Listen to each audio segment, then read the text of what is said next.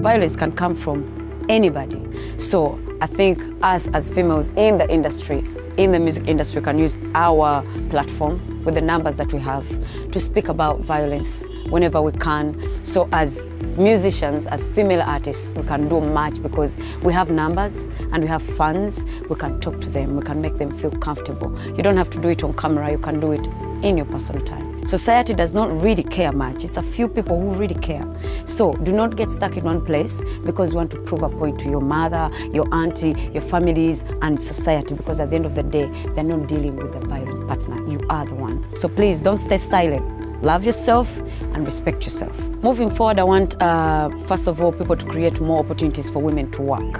Because if women can provide for themselves, this violence issue will go down a little bit because the biggest number, they can't move. They don't know where to go because this man provides, this person does this. So if you empower for yourself and your life, you take care of yourself, you can at least say, no, you cannot disrespect me, I'll go. So first things first, I, I, I really, I call upon every organization, companies and everything, hire women.